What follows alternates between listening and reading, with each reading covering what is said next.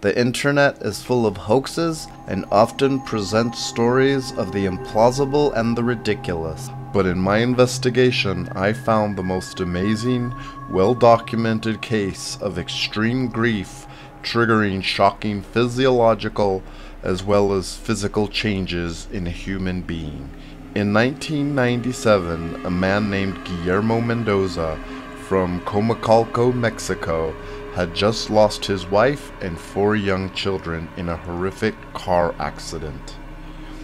When he learned he was eventually going to lose his eyesight due to detached retinas, in a panic he fled the hospital only to return two weeks later claiming that he felt like he was on fire.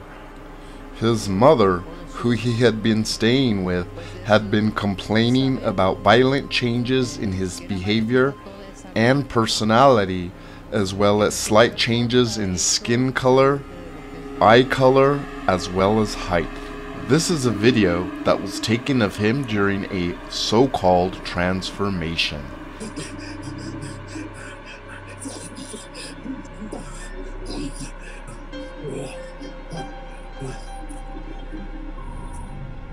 He eventually escaped and was captured only to escape again.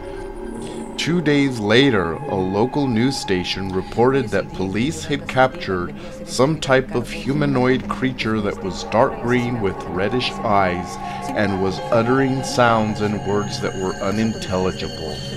They later discovered that they had in fact captured Guillermo Mendoza.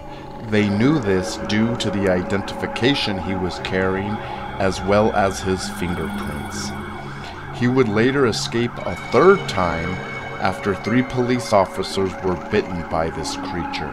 Two years later, in March of 1999, a scientific journal was published through Oxford University that dealt with this and other similar cases of extreme grief paired with other unknown factors causing a physical transformation of human to other than human.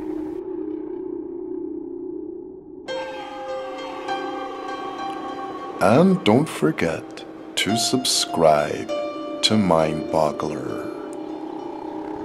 I'm Yannick.